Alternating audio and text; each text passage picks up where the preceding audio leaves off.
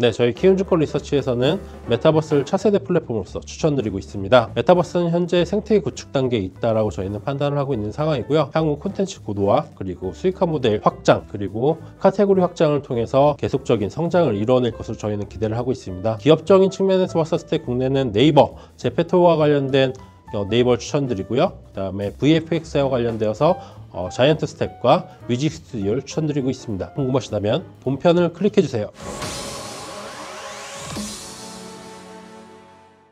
자, 오늘 애톡쇼는 차세대 플랫폼인 메타버스 특집편으로 꾸며봤습니다.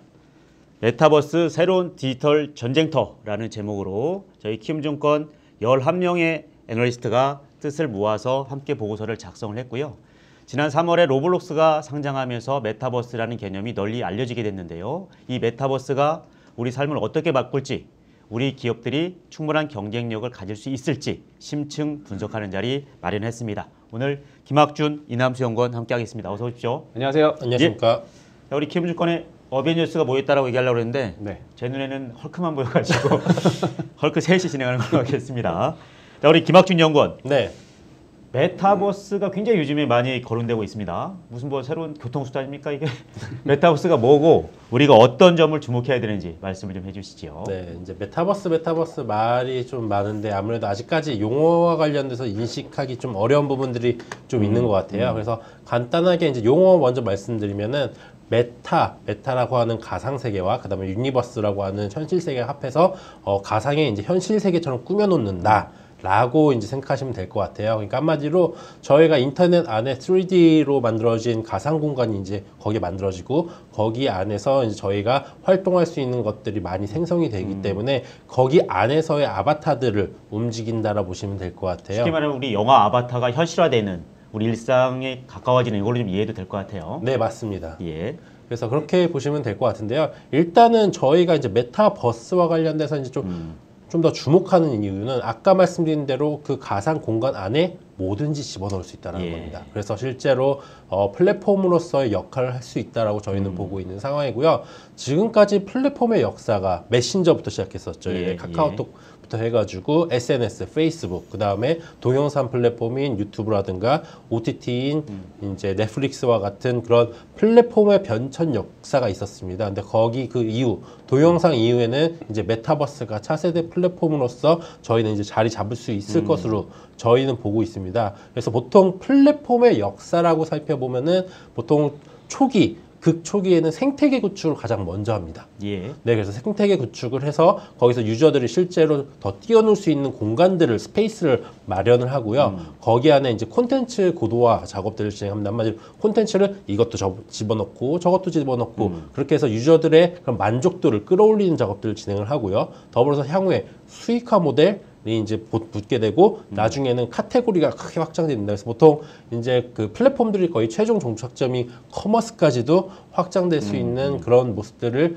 이제 보통 플랫폼들이 지- 어 이제 보내왔었었는데 지금 메타버스는 아까 말씀드렸었던 생태계 구축 가장 극 초기에 있는 어 신- 시점이기 때문에 장기적으로 봤었을 때 메타버스와 관련된 플랫폼과 관련된 그런 업체들 그 다음에 어 기업들 같은 경우에는 향후에 성장성에 대한 기대감을 품고서 충분히 이제 관심을 가지, 가지실 필요가 있다 이렇게 말씀을 드리고 있습니다. 저는 이 부분의 분석이 상당히 좀 인상적이었는데 네. 지금까지 메신저든 SNS든 동영상이든 이런 플랫폼들은 전형적인 플랫폼의 발전 단계를 거쳤다. 네. 네 가지로 본다면 첫 번째가 생태계 구축이었고 네. 두 번째가 콘텐츠 고도화, 네. 세 번째가 수익화 모델 강화. 네. 이걸 넘어 넘어서면 플랫폼 카테고리 확장으로 이어졌는데 네. 지금의 메타버스는 초기인 생태계 구축 단계에 있지만 일부는 컨텐츠 고도화를 병행하고 있고 유저스가 계속 확장이 된다면 이제 본격적인 수익화 모델로 나아갈 거다. 이 분석은 상당히 과학적이었던 것 같습니다. 네, 감사합니다. 좋습니다. 자 그러면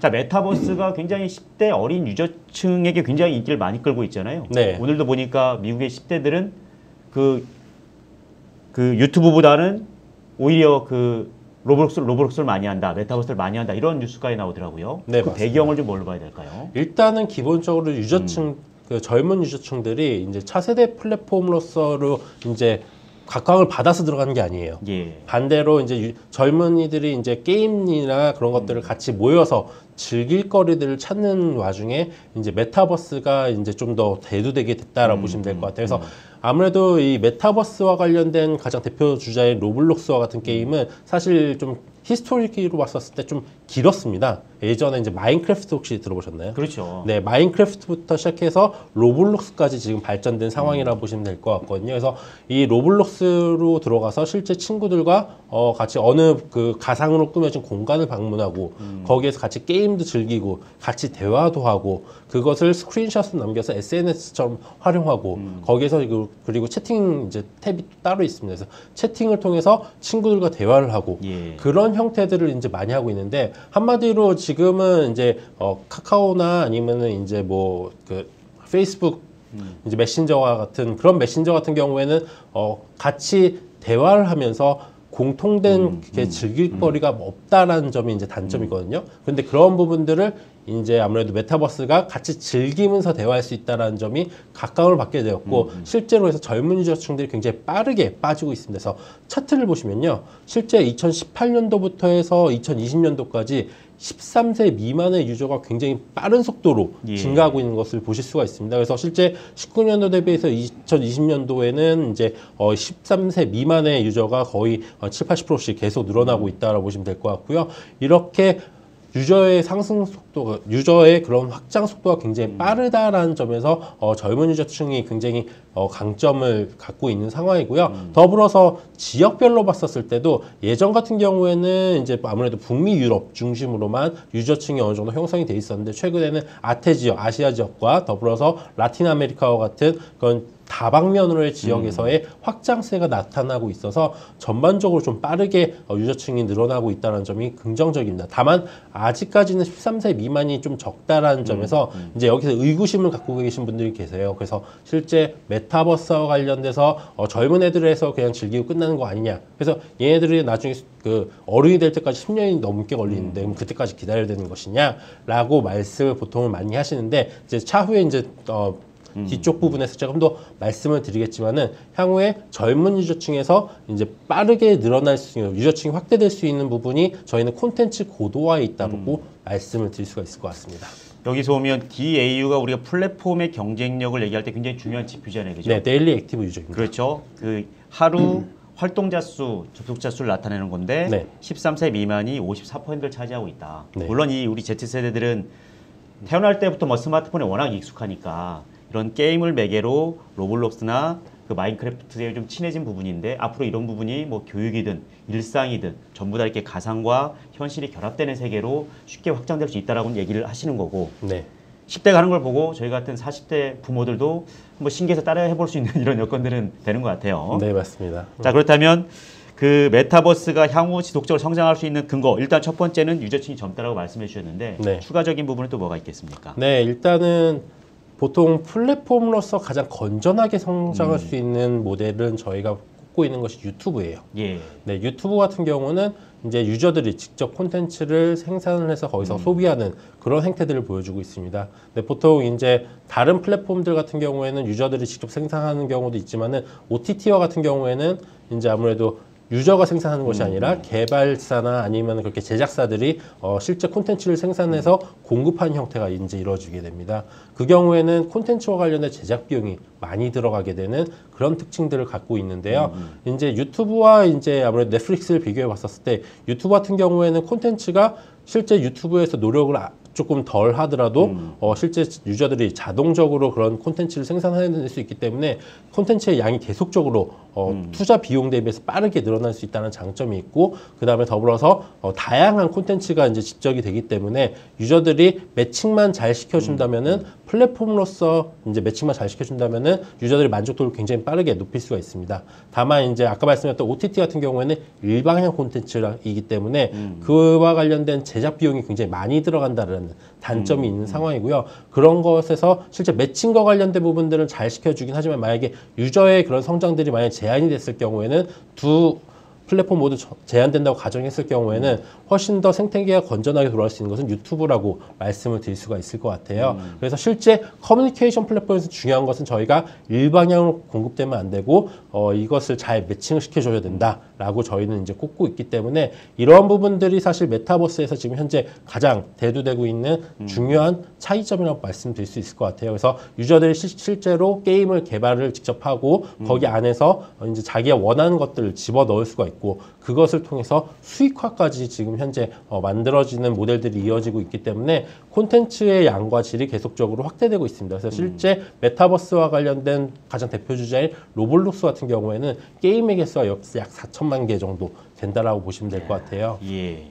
자, 중요한 얘기를 해주셨는데 플랫폼이 좀 빠르게 성장하려면 컨텐츠가 일방향이어서는 안 된다. 네. 쌍방향으로 구축이 돼야 된다는 말씀을 하셨고 우리가 뭐 쉽게 말하는 플랫폼에서 네트워크 효과라는 거잖아요. 네, 맞습니다. 다양한 유저들이 컨텐츠를 형성하게 되고 요게 이제 확산이 되게 되면 그 한 방향으로 확산되는 게 아니라 기하급수적으로 그 조회수가 늘어나는 이런 부분들이 바로 양방향 효과라고 좀 보여지는 부분이고 좀 비교를 해주신 부분이 넷플릭스 같은 OTT는 일방향 컨텐츠이기 때문에 사실 가입자 성장이 꺾이면 성장성에 한계가 있을 수 있지만 네. 지금의 그 로블록스를 비롯한 메타버스는 유튜브와 같은 성장 사이클을 겪을 거다 좀 말씀을 해주신 부분이에요. 네.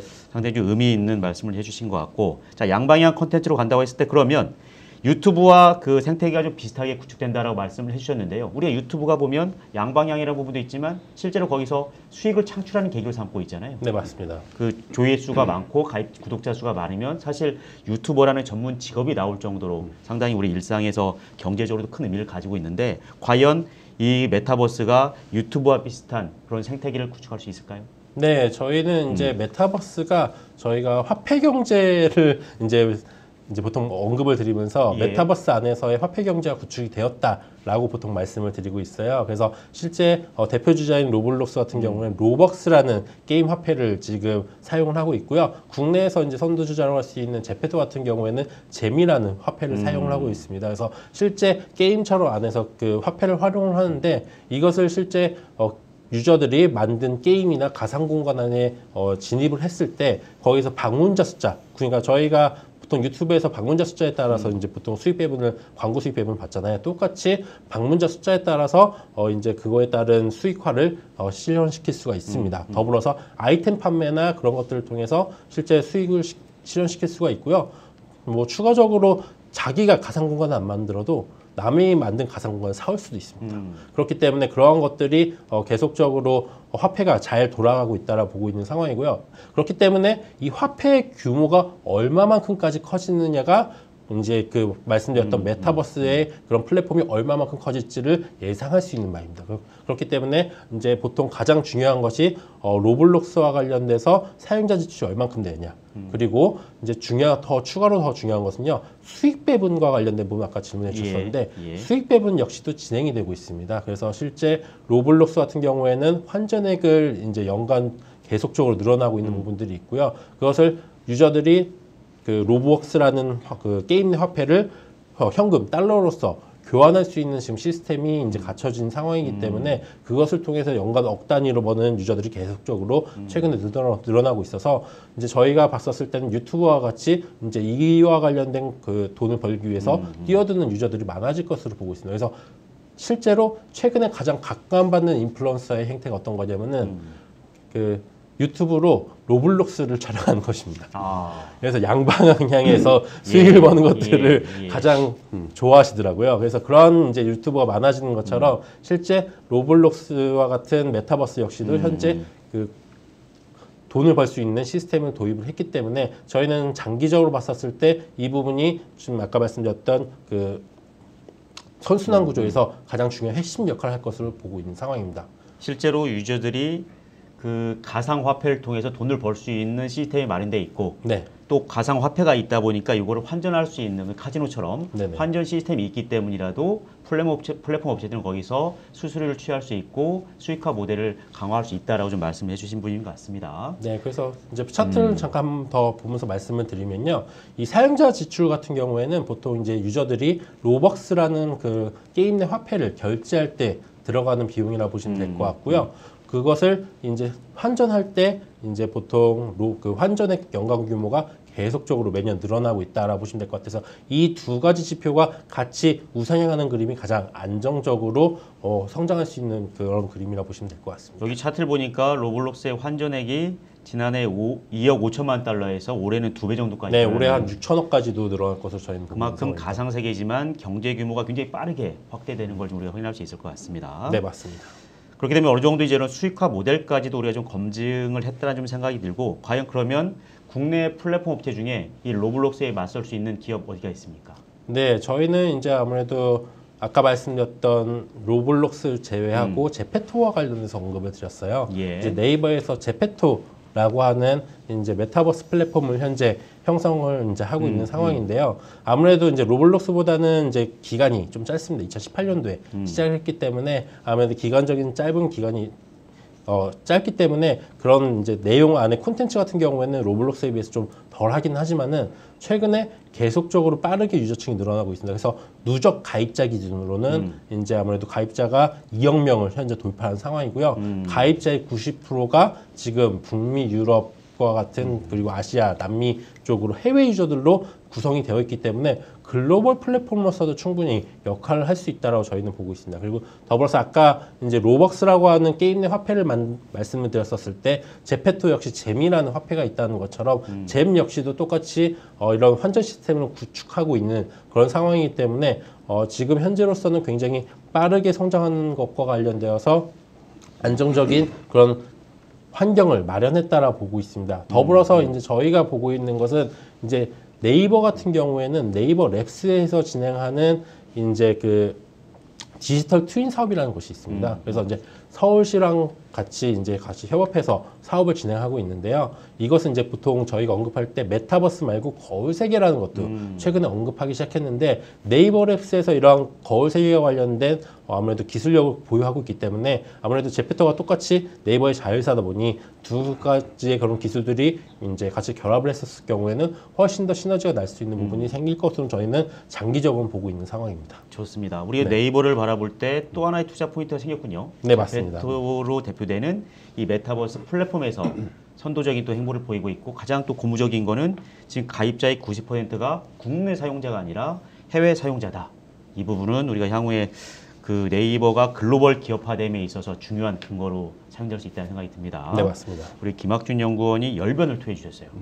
자, 우리 이제 오래 기다렸던 우리 이남수 네. 연구원 컨텐츠 시각에서 한번 봐야 되잖아요. 그렇죠. 이 메타버스가 과연 어떠한 컨텐츠로 메꿔지게 될지, 메타버스에서 제공되는 컨텐츠는 어떠한 내용과 형태를 가지게 될지 이 부분을 좀 말씀을 해주시지요. 네, 일단은 지금 현재 상황은 생태계를 구축하는 상황인 예. 거죠. 그 생태계를 그러면 구축함에 있어가지고 어떤 조건들이 좀 마련이 돼야 될까 생각을 해보면 첫 번째로는 사회성이에요.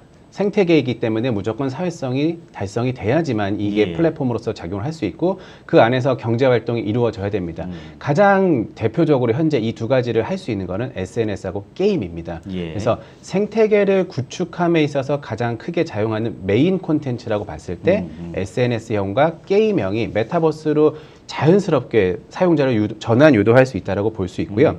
두 번째로 이제 콘텐츠의 고도화가 되는데 사실은 저희가 이제 메타버스이긴 하지만 여기는 이제 뭔가를 그냥 뭐 학습하고 학습도 있긴 했지만 굉장히 흥미 요소가 많이 필요합니다. 그럼 흥미 요소를 감안했을 때 엔터테인먼트 요소가 굉장히 많이 들어갈 거예요. 그러면 그때 그 엔터테인먼트를 감안해서 그 소비자는 한 개의 메타버스는 아닐 겁니다. N 개의 메타버스 중에서 나의 라이프 스타일이라든가 소비 성향, 기타 어떤 이런 성향들을 가지고 하나의 메인 콘텐츠를 정하고 거기서 서비스가 되는 것들을 이제 선택을 하게 되는 거죠. 그래서 그 콘텐츠가 제공되는 것들은 여러 가지 종류가 있을 겁니다. 첫 번째로는 메타버스 플랫폼이 제공한 오리지널 콘텐츠, 그리고 뭐 전문 콘텐츠 provider가 제공해 주는 거, 그리고 유튜브처럼 어, 거기에 참여하는 유저들이 직접적으로 생산해 내는 것. 그래서 이것들이 그 안에서 선순환 구조를 가지고 경제 활동을 할 수 있게 되면은 메타버스로 감에 있어 가지고 이제 착착 step by step 밟아 나간다고 볼 수 있는 거죠. 일단은 메인 컨텐츠는 우리가 쉽게 생각하는 것처럼 게임과 SNS가 SNS, 된다고 네. 말씀하시는 거고 저보다는 더 중요한 거는 부가 컨텐츠가 될 것 같아요. 네네. 이게 결국 이제 컨텐츠의 확장성을 얘기하는 건데 네. 다양한 영역이 부가될 수 있을 것 같은데 저도 좀 생각을 해본 게 음. 이게 교육이라는 부분이 접목되면 부모 입장에서 굉장히 환영할 만한 거잖아요. 맞습니다. VR 헤드셋을 쓰고 자녀가 굉장히 몰입도를 가지고 가상의 교실에서 수업을 열심히 어. 네. 하는 모습을 보게 되면 굉장히 메타버스가 긍정적으로 우리 사회에 영향을 않는 생각이 들고 그런 시대가 좀 빨리 왔으면 좋겠어요. 자, 그랬을 때 네. 이러한 그 컨텐츠 유형들을 크게 또 한 세 가지로 분류를 해주셨는데 네. 이 컨텐츠의 핵심적인 공통점은 뭐가 되겠습니까? 그 계속 지속적으로 말씀을 음. 드릴 텐데요. 저는 이 콘텐츠의 가장 핵심적인 공통점은 실시간, 쌍방향, 실감형 콘텐츠라고 말씀을 드려요. 좀 앞에 서두가 길긴 하죠. 실시간은 뭐냐? 이게 플랫폼이기 때문에 올라왔던 거를 우리가 소비하고 내려가는 거는 기존에 저희가 어, 플랫폼 OTT 서비스라는 유튜브에서 했던 거랑 비슷해요. 즉 라방이 돼야 된다. 실시간으로 커뮤니케이션이 돼야 된다. 그리고 예. 쌍방향인데 어떤 사람은 올리고 어떤 사람은 direct로 그냥 보기만 한다. 이거는 사회성이 전혀 발생하지 않죠. 그렇죠. 그러면그 올리는 사람과 보는 사람과 그리고 그걸 그 같이 엔터테인먼트 즐기는 사람이 쌍방향으로 어, 할 수 있어야 돼요. 그리고 실감형 콘텐츠는 뭐냐? 우리가 기존의 콘텐츠는 시각하고 청각을 주로 활용을 합니다. 음. 그러면 기존 또 OTT나 이런 동영상 서비스 다를 게 없어요. 실감형 콘텐츠는 뭐냐? 궁극적으로 오감까지 가겠다는 건데 음. 뭐 극장 같은 데서 뭐 스크린 4DX라든가 이런 거 보셨고 뭐 롯데월드라든가 이런 데 가시면 막 의자가 움직이 이런 것들 있잖아요. 이런 것들이 차후에 이제 전기전자의 어떤 기술 개발을 통해 가지고 만족이 될 때 저희가 그 실시간 쌍방향 실감형 콘텐츠가 될 거라고 보는데 이게 서비스 되는 거는 한 두 가지 정도로 볼 수 있을 것 같습니다. 메타버스 플랫폼하고 유저가 실시간으로 하는 게 있을 것 같고요. 음, 또 유저와 유저가 실시간으로 하는 것들이 있을 수 있어요. 그래서 이런 것들은 지금 저희가 계속 말씀드리면 결국 경제 활동과 연결이 될 거고 콘텐츠 고도화를 통해서 메타버스 플랫폼이 가치를 지닌 세계로 나아갈 거다라고 말씀드릴 수 있습니다. 실시간이고 쌍방향형이고 실감형이어야 된다. 네. 특히 우리는 좀 실감형을 강조하고 싶은 거죠. 그렇죠. AR, VR이 이제 실감형으로 가는 이제 음. 기술 개발의 척도인 거죠. 어떻게 보면 지금까지 뭐 실시간과 쌍방향은 충분히 이루어지고 있다고 볼수 있는 부분인데 좀 더 실감형이 돼야 사실 이 엔터테인먼트 요소라든지 네. 아니면 좀 더 몰입을 함에 있어서 결정적인 그런 또 동기부여가 될 수 있을 것 같고 우리 시대도 이제 5G를 기반으로 이런 뭐 3D나 어, 것 홀로그램과. 기반한 네. 이 실감형 콘텐츠를 이제 충분히 수용할 수 있는 환경으로 가고 있잖아요. 그리고 차트 제가 하나 준비했었는데요. 저- 전 세계적으로 AR, VR 시장이 이렇게 괄목할만하게 성장하려고 보는데 음. 아까 김학준 연구원님 말씀하셨지만 이게 뭐 굉장한 선진국에서만 이게 되는 거냐 아닙니다. 아시아를 비롯한 시장에서도 음, 음. 아시아의 시장도 굉장히 많이 성장을 하고 있죠. 근데 추후에는 결국 유저 수를 바탕으로 이런 콘텐츠들이 올라간다라고 보면은 어, 아시아 시장이 전 세계를 리딩할 수 있는 또 그리고 우리나라 기업들이 그리고 콘텐츠를 정말 잘 만드는 기업들이기 때문에 여기서 충분한 수익화라는 모멘텀을 가질 수 있다라고 좀 볼 수 있어요.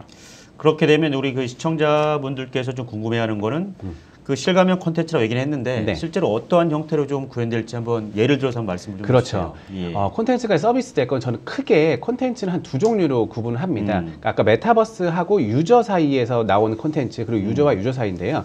메타버스가 제공하는 콘텐츠는 여기 이제 가상에 하나 또 등장합니다. 음. 저- 서두에 말씀하신 아바타죠. 이거를 meta human 내지는 virtual human이라고 표현을 하고 있는데요. 이게 메타버스를 운영하는 어떤 운영자가 될 거예요. 그 음. 게임 산업의 NPC 있죠. NPC 는 그냥 지정해준 어떤 그 말만 읽어줍니다. 그거는 단방향이죠. 이 meta human이 나오게 되면은 리얼리티를 동반한 유저하고의 어떤 각가지 커뮤니케이션이 좀 다양해질 수 있는 그런 하나 콘텐츠가 있고요. 그리고 우리가 리얼리티에서 디지털로 옮긴 콘텐츠들을 하나 생각해 볼 수 있어요. 그래서 이런 것들 중에 제가 이제 차트 갖고 왔는데요. 이제 virtual human과 아바타가 정말 대세로 떠오를 겁니다. 음. 미국에서 개발한 이 Lil Miquela라고 하는 가상 인플루언서는 어, 물론 이 가상 인플루언서를 뒤에서 포스팅을 한다거나 인스타그램 활동을 하는 기본적인 회사 직원들은 계세요. 하지만 음. 요 Lil Miquela 같은 패션 인플루언서로 처음에 등장을 했고요. 음. 현재는 패션 디자이너로 활동을 하고 있고 미국의 어떤 언론 보도를 통해서 보면 연간 한 130억 원 정도의 매출을 달성하고 있습니다. 음. 이 가상 인플루언서 하나가 그렇게 크게 하고 있고요. 우리나라에서도 이제 아티스트, 그러니까 케이팝 아이돌을 통- 동반해서 아바타를 구현하고 있어요. SM이 가장 대표적인데 음. 에스파라곤의 신인 걸그룹을 가지고 아이에스파라곤 아, 아바타를 만들었고요. 아마 향후에 이게 뭐 언택트 콘서트와 같은 데서 공동 공연을 하는 모습을 볼 수 있을 겁니다. 음. 그래서 저희가 이제 디지털과 real을 연결하는 bridge 역할을 하는 메타버스, meta human의 한번 흥행과 성적을 그 기대 한번 해볼 수 있죠. meta human, 뭐 virtual human 용어는 좀 생소할 수 있겠지만 음. 결국은 우리가 또 최근에도 이슈가 됐던 뭐 인공지능에 기반한 인공 인간이라든지 네, 맞아요. 이런 부분의 연장선상에 볼수 있겠고 우리 K-팝을 기반으로 하는 컨텐츠 기반에서 네. 이러한 가상의 그 캐릭터들이 만들어질 수 있는 여지는 충분히 있겠다 그렇죠. 생각이 좀 드는 것 같고요. 자 그러면 컨텐츠 관점에서 네. 주목해야 될 기업 있습니까? 그 컨텐츠 관점은 일단 흥미가 떨어지면 안 됩니다. 그러면 예. 흥미하면은 엔터테인먼트이고요. 그 중에서도 어, 드라마, 영화는 단방향인 경우가 많죠. 근데 음. 실시간은 팬하고 소통한다는 측면에서는 음. 저희 엔터테인먼트가 가장 유명하죠. 가수라든가 이런 아티스트 분야가 유명하고 작년에 이제 네이버가 또 진행을 했었어요. 그 V Live를 통해서 Beyond Live 콘서트라고 하는 언택트 콘서트를 했죠. 음. 그렇죠. 코로나 일부 상황이었기 때문에 굉장히 좀 독특하게 시도가 되긴 했지만 의미가 있습니다. 여기를 보면 이제 메타버스 시대에 어떤 가격 정책이 정해질지 좀 저희가 미리 예측을 해볼 수 있는데요. 대규모의 사람을 모객할 수 있으면 단가는 싸집니다. 음. 그러니까 단가가 싸지면 진입 장벽이 낮아지고요. 음. 진입 장벽이 낮아지면서 이게 디지털로 구현되다 보니까 국내라는 한정을 넘어서게 돼요. 결국 이제 Beyond Live 콘서트 그 이름하고 똑같아지는데 이게 보통 저희가 실물에 오프라인 볼 때는 10만 원이 넘는 콘서트가 여기 나오니까 3만 3천 원으로 줄어들었어요. 그러니까 일단은 진입할 수 있었죠. 그리고 이게 실시간으로 동타임에 되다 보니까 국내 사용자 한 20%고요. 해외 접속자 80%예요. 이런 거 일부분 달성한 걸 확인할 수 있어요. 그래서 작년에 1분기에는 SM이라든가 하이브 이렇게 몇몇 기업만 했었는데 하반기로 접어들면 들수록 더욱 많은 엔터 기업의 참여가 이루어졌고요. 음. 그래서 이런 어떤 대규모라는 측면에서 봤을 때 가격 경쟁력하고 구독 경제 모델을 우리가 갖춰야 된다고 봤- 봤는데 이 구독 경제 하면은 서두에 말씀하신 또 교육하고 트레이닝 분야가 있습니다. 예. 이 코로나 19를 통해서 교육하고 트레이닝 분야가요 정말로 빠르게 디지털 콘텐츠가 많아졌습니다. 그리고 한 가지 좋은 점은 뭐냐? 과거에는 대면 서비스를 받아야 된다라고 생각했던 분야인데 이제는 비대면을 받더라도 음. 우리가 가성비 아니면 가심비를 끌어낼 수 있는 분야로 지금 적용 어, 생각을 하고 있고요. 이거는 이제 국내보다는 해외 사례가 있는데 찌이프트라고 하는 이제 사이클 좋아하시는 분들이 아실 거예요. 이제 찌이프트라고 하는 그 어플을 통해 가지고 실시간으로 글로벌 사용자들하고 사이클을 즐깁니다. 여기 화면에 좀 잠깐 네, 맞아요. 이렇게 타는 예. 건데요. 이제 만약에 이게 언덕이 나오잖아요. 그러면 여기 있는 롤러가 자동적으로 음. 반응하면서 부하가 걸립니다.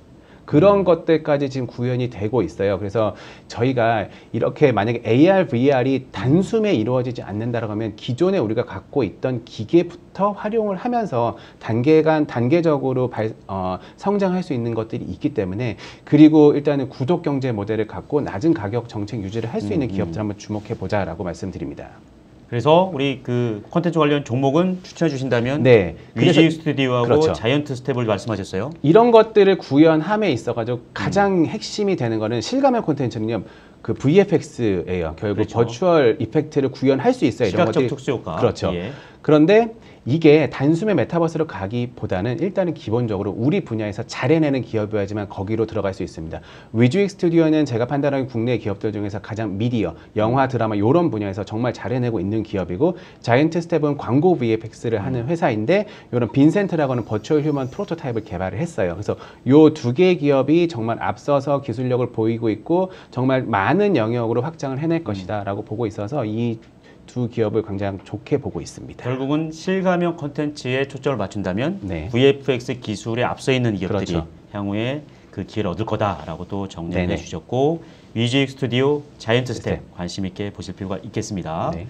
자 여기서 끝날 줄 알겠지만 저도 사실 여기 보고서에 좀 숟가락을 얹었기 때문에 우리 IT 하드웨어적인 측면에서 이 메타버스가 어떻게 기회가 될지 한번 간단하게 제가 좀 말씀을 드려보도록 할게요. 사실 당연하지만 우리 한국 IT 기업에도 상당히 긍정적인 효과가 기대되고 있습니다. 이 확장 현실 기기를 만들려면 디스플레이나 카메라 이런 센싱 기술이 중요한데 우리 한국 기업들이 가장 앞선 기술력을 가지고 있고요. 또 하나 계속 강조하지만 실감형 컨텐츠. 데이터 용량이 많이 늘어나잖아요. 그렇죠. 이게 유통이 된다고 한다면 반도체 수요 많이 늘어나야 되거든요. 그렇죠. 분명히 우리 기업들에게 긍정적인 환경이 될 것 같은데요. 직접적으로 우리가 그 XR이라고 얘기하는 확장 그 현실 기술을 기반으로 하기 때문에 이 부분을 관련해서 좀 말씀을 드려보겠습니다. 그 우리 그림도 한번 좀 같이 봐주시면요. 지금은 이제 VR 그 가상현실 기기가 전체 확장현실 기기의 90% 이상을 좀 차지하고 있고요. 가상과 증강으로 나눠서 말씀을 드려보면 이 가상현실 쪽에서는 헤드셋이 주류가 되고 있고 이게 이제 최근에 이슈가 되고 있는 페이스북의 오큘러스 오큘러스. 퀘스트 2인데 이 제품이 굉장히 완성도가 높다라는 거죠. 그리고 그 뒤로 뭐 HTC의 이런 제품들이 나오고 있는데 그 전작 제품들에 비하면 컴퓨터 성능이나 디스플레이 기술이 향상이 됐고 무게는 가벼, 가벼워지면서 가격도 합리적으로 바뀌었습니다. 그러면서 이제 대중화를 시도하고 있다는 부분이 바뀐 환경으로 보이고요. 참고로 이 제품은 지금 299달러니까 우리 김학준 연구원도 충분히 살 수 있는 가격입니다. 저는 이걸 한번 시연 한번 해봤습니다. 아, 확실히 좀 과거에 비하면 좀 네, 어지럼증이 어지러움 좀좀 굉장히 없고요. 요거 것 이제. 아까 말씀 그 VR 뉴욕 스토리라고 음. 하는 에이톤이 개발한 그거를 착용을 하면서 영어를 한번 해봤는데요. 몰입도가 높아지고요. 음. 예, 열심히 하게 되더라고요. 자, 그랬을 때 아직까지는 이 VR 헤드셋 한계라 하면 너무 게임 산업에 좀 그 치중돼 있기 때문에 네. 이 컨텐츠를 좀 다변화하는 부분들이 그렇죠. 과제로 남아 있다고 보여지고요. 이 VR 기기에 비하면 AR 기기는 조금 속도가 좀 느립니다. 이런 AR device는 향후에 그림에서 보시는 것처럼 그 지금은 스마트폰 위주지만 AR 글라스 중심의 시장 성장이 전망되고 있고요. 당연하지만 이 머리에 쓰는 헤드셋에 비해서 이 눈, 눈에 쓰는 글라스는 무게라든지 휴대성에서 강점을 가지기 때문에 가격만 뒷받침되면 이 AR 글라스가 핵심 웨어러블 기기로서 확장이 될 것 같습니다. 최근에 이제 마이크로소프트가 홀로렌즈 2라는 제품을 출시하면서 그 높은 완성도를 구현했는데 다만 이 그 페이스북의 오큘러스하고 마이크로소프트의 홀로렌즈 2를 그 비교해 보면 이게 훨씬 더 멋있어 보이긴 하잖아요. 네. 그러나 네. 가격이 이게 30만 원이면 여기는 500만 원이거든요. 아, 이런 가격적인 측면이라든지 짧은 배터리 이런 부분에 있어서 아직은 넘어야 될 산이 많다라고 좀 봐야 될 것 같습니다. 자 그러나 이 XR 기기에서도 결국은 애플이 game changer가 될 거예요. 우리 하드웨어 역사는 애플이 출현하고 안 하고를 항상 갈리게 됩니다. 네. 애플이 나오면 좋게 표현하면 뭐 창조적 파괴자인데 네. 항상 이게 흐름을 바꿔가는 그런 모습들이 보이고 있지요. 그래서 애플의 행보가 중요한데요. 애플은 내년에 VR 헤드셋을 먼저 출시할 거고 23년에는 AR 글라스를 출시할 거예요. 그렇기 때문에 또 이 부분이 대중화되는 계기가 될 걸로 보여지고요. 이미 애플은 이 가상현실보다는 증강현실, AR 분야에 굉장히 올인하고 있는 모습들 많이 보이고 있어요. 지금 우리가 아이폰 12 프로 작년에 나온 그 모델부터 보게 되면 TOF라고 얘기하는 비행 시간으로 3D 뎁스를 측정하는 그런 모듈이 그 기본적으로 채용되고 있고 과거에 비하면 훨씬 더 이제 새로운 차원의 증강현실을 구현할 수 있는 생태계를 애플이 만들었다는 거고요. 그런가 하면 이 그 증강현실 앱을 개발할 수 있는 툴인 AR Kit라는 걸 매년 업그레이드를 하고 있어서 이 모바일 환경에서의 증강현실 생태계를 주도하고 있는 게 애플입니다. 그래서 애플이 22년에 VR 헤드셋, 23년에 AR 글라스를 출시하게 되면 이쪽 시장이 훨씬 더좀 활성화되는 그런 계기가 마련될 거라고 보고 있고요. 저희 업체에서 주목하는 건 LG 이노텍이지요. 다행스러운 거는 그 애플과의 협업을 통해서 이 TOF 3D 센싱 모듈을 주도적으로 공급하고 있고 애플뿐만 아니라 마이크로소프트 이 홀로렌즈 2에도 좀 협력 구조를 그 협, 협력 구조를 만들어내면서 LG 이노텍이 이 3D 센싱 분야에서 가장 앞서가고 있다. LG 이노텍이 장기적인 측면에서는 상당히 네. 유망하다 이렇게 좀 말씀드릴 수 있을 것 같습니다. 자 오늘 이렇게 메타버스와 관련해서 굉장히 많은 일- 얘기를 저희가 나눴습니다. 네. 네.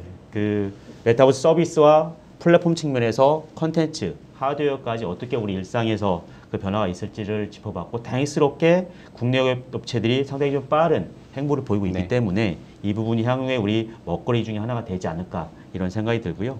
오늘 메타버스 얘기를 해보니까 어떤 생각이 드냐면 우리 다음 애톡쇼 출연할 때는 그냥 우리 그 우리 뭐 사무실에서 헤드셋 끼고 가상으로 우리 유튜브를 한번 찍어보는 건 어떨까 하는 생각도 들더라고요. 그런 시대가 멀지 않았을 것 같다는 생각이 좀 그렇죠. 듭니다. 네, 실제로 방송인을 그런 식으로 찍는 경우가 최근에 많이 늘어나고 그렇죠. 있긴 합니다. 네. 그래서 오늘 이렇게 좀 메타버스에 대한 투자 아이디어 여러분과 좀 공유하는 그런 시간을 가졌고요. 저희는 또 다음 시간에 뵙도록 네. 하겠습니다. 수고해주신 두 분 감사합니다. 네, 감사합니다. 감사합니다. 미국 주식 투자도 역시 키움증권 40달러 받고 미국 주식 키움증권에서 시작하세요. 원금 손실이 가능하며 그 결과는 투자자에게 귀속됩니다.